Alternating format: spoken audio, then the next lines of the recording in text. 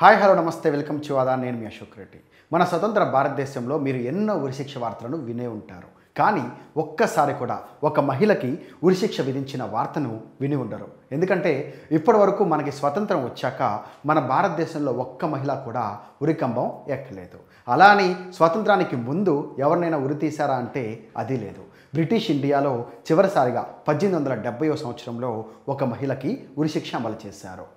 మళ్ళీ ఇప్పుడు అంటే దాదాపు నూట యాభై సంవత్సరాల తర్వాత ఒక మహిళను ఉరితీయడానికి మన దేశంలోని ఒక జైలు సిద్ధమవుతోంది. అయితే ఎవరా మహిళ? ఆమె చేసిన నేరం ఏంటి? ఆమె రాష్ట్రపతి క్షమాభిక్ష కూడా నోచుకోలేకపోయింది. అంటే ఆమె ఎలాంటి నేరం చేసింది? ఈ వివరాలన్నీ కూడా ఈ వీడియోలో తెలుసుకుందాం. అది రెండు వేల ఎనిమిది ఏప్రిల్ పద్నాలుగు అర్ధరాత్రి. ఒక కుటుంబంలోని ఏడుగురు సభ్యులు వాళ్ళకి అదే చివరి రాత్రి అని తెలియక హాయిగా నిద్రపోతున్నారు. రాత్రి పన్నెండు గంటల నుంచి రెండు గంటల మధ్యలో ఆ ఇంట్లో నుంచి కాపాడండి కాపాడండి అంటూ అరుపులు వినిపించాయి. చుట్టుపక్కల వారు వెళ్ళి చూసేసరికి ఏడుగురు కుటుంబ సభ్యులు హత్యకు గురై రక్తం అడుగులో పడి ఉన్నారు. ఆ ఇంట్లో ఉండాల్సిన ఎనిమిదో వ్యక్తి మిస్సింగ్. చుట్టుపక్కల వారు పోలీసులకు ఫోన్ చేశారు. సమాచారం అందుకున్న పోలీసులు హుటాహుటిన అక్కడికి చేరుకున్నారు. మృతదేహాలను పోస్ట్ మార్టం కోసం స్థానిక ఆసుపత్రికి తరలించారు. అయితే ఆ ఇంట్లో మిస్ అయిన శబ్మం అనే ఒక అమ్మాయి కోసం వెతకడం మొదలుపెట్టారు పోలీసులు. అయితే ఆమె దొరికితే తప్ప అక్కడ అసలు ఏం జరిగిందో తెలిసేలా కనిపించలేదు. సో పోలీసులు గాలింపు చర్యలు చేపట్టారు.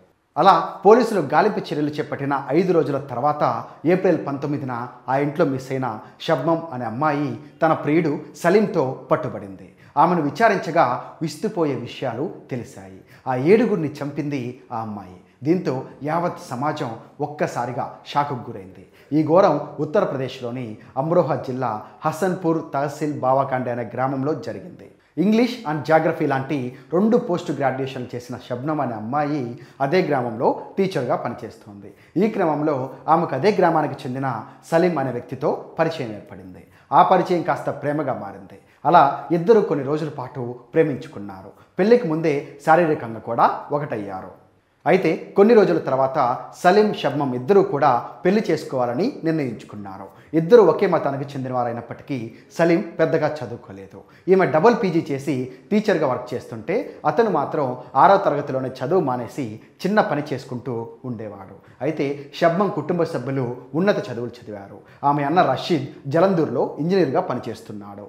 దీంతో ఈ పెళ్ళికి శబ్మం కుటుంబ సభ్యులు ససేమిరా అన్నారు. అయినా ఆమె వినలేదు. దీంతో ఆమెను ఒక గదిలో బంధించారు. దీంతో శబ్మంకి కోపం వచ్చింది. అప్పటి వరకు నోట్లో అన్నం పెట్టి ఇష్టంతో పెంచిన అమ్మ కలల్లో పెట్టుకొని పెంచుకున్న నాన్న శబ్బంకి శత్రువులుగా కనపడ్డారు. మామూలుగా ప్రేమ గుడ్డిది అంటారు కదా. సో తన ప్రేమకు అడ్డు వస్తున్న కుటుంబ సభ్యులందరినీ చంపేయాలని నిర్ణయించుకుంది. ఈ విషయాన్ని ప్రియుడు సలీంకు కూడా ఎలాగోలా చేరవేసింది. అతడు కూడా సై అన్నాడు. దీంతో సలీంతో కలిసి తన కుటుంబానికి చెందిన ఏడుగురిని క్రూరాతి క్రూరంగా గొడ్డలితో నరికి వారి ప్రాణాలను తీసేసింది. ఈ జంట చంపిన వారిలో శబ్మం తండ్రి యాభై ఐదేళ్ళ షాకిద్ అలీ. తల్లి యాభై ఐదేళ్ళ హష్మి అన్న ముప్పై ఐదేళ్ళ అనీష్ వదిన ఇరవై ఐదేళ్ళ అంజుమ్ తమ్ముడు ఇరవై రెండేళ్ళ రషీద్ కజిన్ పద్నాలుగేళ్ళ రబియా. ఇక తన అన్న కొడుకు పది నెలల చిన్న పిల్లాడు హరిష్ కూడా ఉన్నాడు. వీళ్ళందరినీ క్రూరాతి క్రూరంగా గొడ్డలతో నరికేసింది.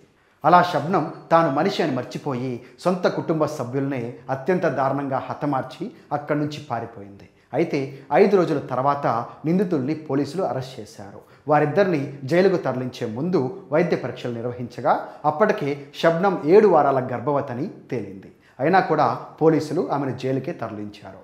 ఇక పోలీసులు విచారణలో తన కుటుంబ సభ్యులను హతమార్చేలా సలీంను శబ్నమై ప్రోత్సహించిందని తేలింది. కేసుపై పూర్తి స్థాయిలో విచారణ జరిపిన మదురై కోర్టు రెండు వేల పది జూలై పద్నాలుగున నిందితులిద్దరికీ కూడా మరణశిక్షను విధిస్తూ తీర్పును వెలువరించింది. అయితే వాళ్ళిద్దరూ మరణశిక్షని సవాల్గా తీసుకున్నారు. దీనిని సవాల్ చేస్తూ దోషులిద్దరూ అలహాబాద్ హైకోర్టును ఆశ్రయించారు. అయితే దిగువ కోర్టు ఇచ్చిన తీర్పును అలహాబాద్ కోర్టు కూడా సమర్థించి రివ్యూ పిటిషన్లను కొట్టివేసింది. దీంతో సలీం షబ్బం ఇద్దరూ కూడా రెండు వేల పదిహేనులో సుప్రీంకోర్టును ఆశ్రయించారు. అక్కడ కూడా వారికి ఎదురు దెబ్బ ఎదురైంది. చివరి అవకాశంగా అప్పటి రాష్ట్రపతి ప్రణబ్ ముఖర్జీ ముందు క్షమాభిక్షను అభ్యర్థించగా ఆయన కూడా దానిని నిరాకరించారు.